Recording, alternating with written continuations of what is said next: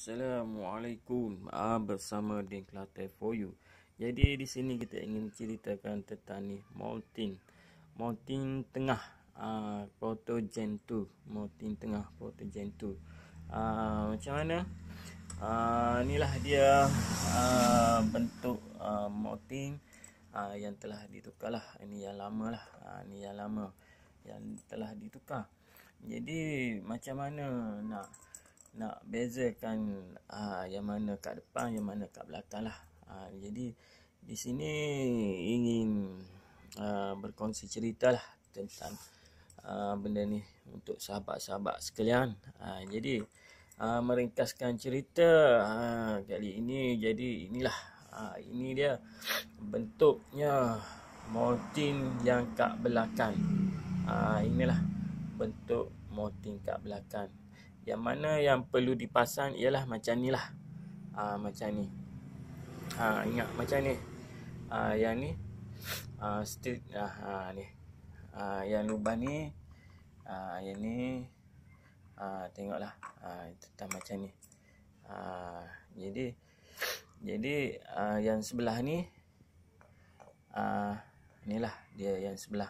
Yang yang depan. Yang depan ni pasang macam ni ha, inilah kedudukannya.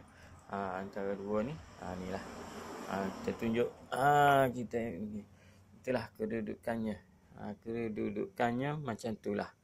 Ha, jadi bezanya yang depan dan yang belakang ialah ha, bolehlah tengok kat sini. Lagi senang lah. Ha, lagi senang.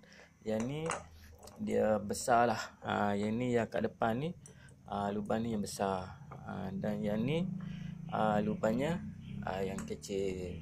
Ha, jadi mm, itulah perbezaan uh, antara dua ni lah uh, perbezaan.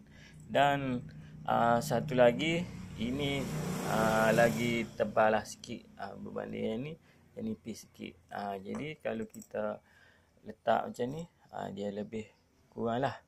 Uh, jadi itulah pemasangan. Pemasangannya lah. Uh, jadi itulah bentuk dan cara permasangan uh, yang yang kat gearbox dan yang kat uh, Temi bed tak bertukar lah. Uh, sebab dia dah dah dah dah tak boleh bertukar. Uh, kalau bertukar jadi tak boleh masuk lah. Uh, itu mounting uh, jadi macam ni yang ni boleh boleh tukar. Macam ni boleh macam ni boleh.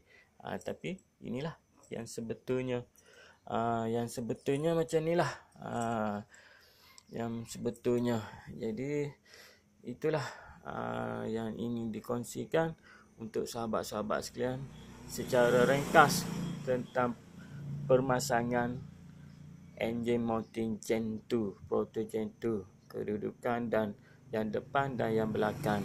Uh, jadi itulah saja perkongsian untuk anda uh, untuk sahabat-sahabat sekalian. Jadi Uh, Assalamualaikum.